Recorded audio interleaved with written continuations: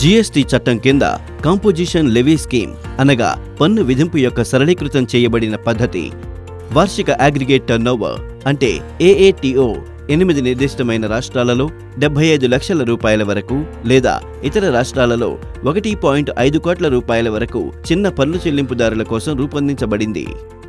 Services యొక్క ప్రత్యేకమైన supplier కోసం సరుకులు మరియు వార్షిక అగ్రిగేట్ టర్నోవర్ యాభై లక్షల రూపాయల యొక్క సప్లయర్ కోసం.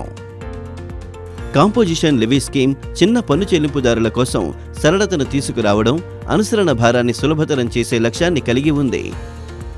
ఈ పథకం ద్వారా రిజిస్టర్ చేయబడిన పన్ను చెల్లింపుదారు తన వార్షిక టర్నోవర్ మొత్తంలో స్వల్ప శాతాన్ని మూడు నెలలకు ఒకసారి ప్రాతిపదికన పన్నుగా చెల్లించాలి. అలాంటి పన్ను చెల్లింపుదారు విస్తృతమైన రికార్డ్స్ నిర్వహించవలసిన అవసరం లేదు. మరియు ఫామ్ జిఎస్టిఆర్ జీరో ఫోర్లో సరళమైన వార్షిక రిటర్న్ దాఖలు చేయాలి. కాంపోజిషన్ లెవీ స్కీమ్ కింద మీ అర్హతను నిర్ణయించడానికి మొదట మీరు మీ వార్షిక టర్నోవర్ మొత్తాన్ని లెక్కించవలసిన అవసరం ఉంది.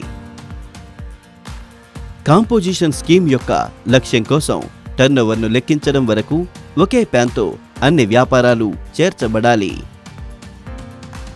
ఈ క్రింది కేటగిరీల పరిధిలో బయటకు వెళ్ళే అన్ని సప్లైస్ యొక్క విలువ మొత్తం పన్ను విధించదగిన సప్లైస్ మినహాయింపు సప్లైస్. రివర్స్ ఛార్జ్ ఆధారంగా ఒక వ్యక్తి చెల్లించవలసిన ఇన్వర్డ్ సరఫరాల విలువను మినహాయిస్తుంది. మరియు జీఎస్టీ చట్టం కింద సుంకం చెల్లించిన సుంకం సహా పన్నులు. డిపాజిట్స్ లోన్స్ లేదా అడ్వాన్సులు ఇప్పటి వరకు విస్తరించడం ద్వారా అందించబడిన సేవల మినహాయింపు సరఫరా విలువ వడ్డీ లేదా తగ్గింపు ద్వారా పరిగణించబడుతుంది.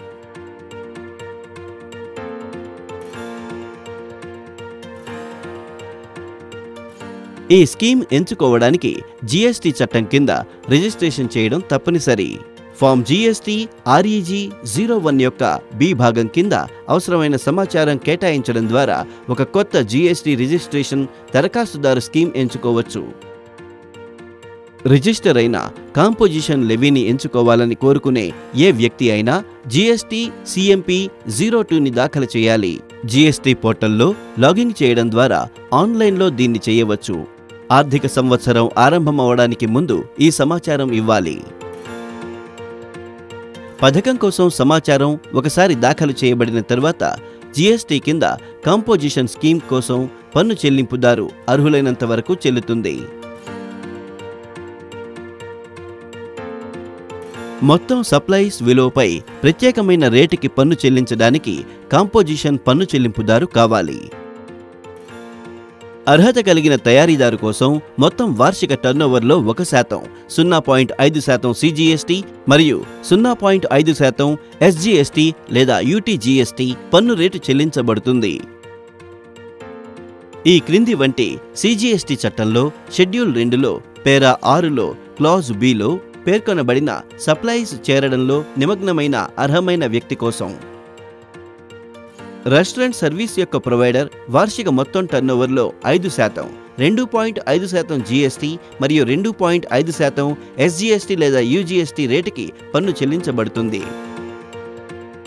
అర్హత కలిగిన సప్లయర్ కోసం అనగా వ్యాపారులు వార్షిక మొత్తం టర్నోవర్లో ఒక శాతం సున్నా పాయింట్ ఐదు శాతం జీఎస్టీ మరియు సున్నా పాయింట్ ఐదు శాతం ఎస్జీఎస్టీ లేదా లేదా యూటీజీఎస్టీ రేటుకి పన్ను చెల్లించబడుతుంది. ఈ స్కీమ్ అర్హత కలిగిన సర్వీస్ ప్రొవైడర్ కోసం కూడా అందుబాటులో ఉంది. ఇక్కడ వార్షిక టర్నోవర్ మొత్తంలో ఆరు శాతం మూడు శాతం సిజిఎస్టీ మరియు మూడు శాతం ఎస్జీఎస్టీ లేదా యూటీజీఎస్టీ పన్ను చెల్లించబడుతుంది. కాంపోజిషన్ స్కీమ్ కింద చలాన్ సిఎంపి జీరో ఎయిట్ ద్వారా త్రైమాసికం ప్రాతిపదికన సంబంధిత త్రైమాసికాన్ని అనుసరించిన నెలలో పద్దెనిమిదవ రోజున పన్ను చెల్లించాలి.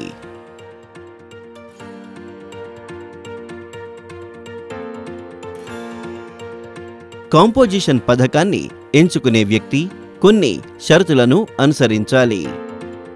ఈ స్కీమ్ ఎంచుకునే పన్ను విధించదగిన వ్యక్తి జీఎస్టీ కింద పన్ను విధించదగిన ఇన్వాయిస్ను జారీ చేయడానికి అర్హత లేని కారణంగా సప్లైస్ బిల్లు జారీ చేయాలి. అతను జారీ చేసిన ప్రతి సరఫరా బిల్లుకు పైన అతను ఈ విధంగా పేర్కొనాలి. కాంపోజిషన్ పన్ను విధించదగిన వ్యక్తి పన్ను వసూలు చేయడానికి అర్హులు కాదు. అటువంటి పన్ను విధించదగిన వ్యక్తి కొనుగోళ్ళుపై ఇన్పుట్ పన్ను క్రెడిట్ను క్లెయిమ్ చేయడానికి అర్హుడు కాదు.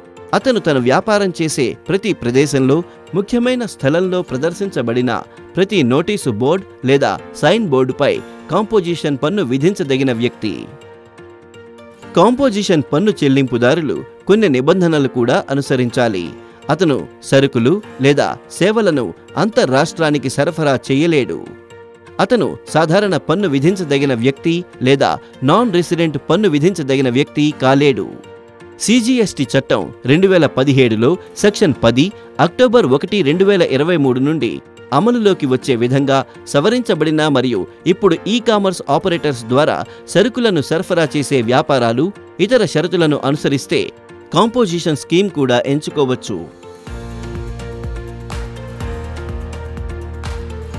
మొత్తం టర్నోవర్ నిర్దేశించబడిన అర్హత పరిమితికి మించిన వ్యక్తి లేదా అతను ఈ స్కీమ్ తప్పుగా ఎంచుకుంటే గడువు పరిమితికి మించిన రోజు నుండి ఏడు రోజులలోగా ఫామ్ జీఎస్టీ సిఎంపి జీరో ఫోర్లో పథకం నుండి ఉపసంహరణ కోసం సమాచారం నమోదు చేయడం ద్వారా కాంపోజిషన్ లెవీ స్కీమ్ నుండి అతను నిష్క్రమించవచ్చు. పథకం నుండి నిష్క్రమించిన తరువాత సాధారణ పన్ను చెల్లింపుదారు వలె అతను పన్ను చెల్లించాలి. పన్ను విధించదగిన ప్రతి సరఫరాకు పన్ను ఇన్వాయిస్ జారీ చేయాలి మరియు తదుపరి ఇన్పుట్ పన్ను క్రెడిట్కు అర్హత పొందుతారు.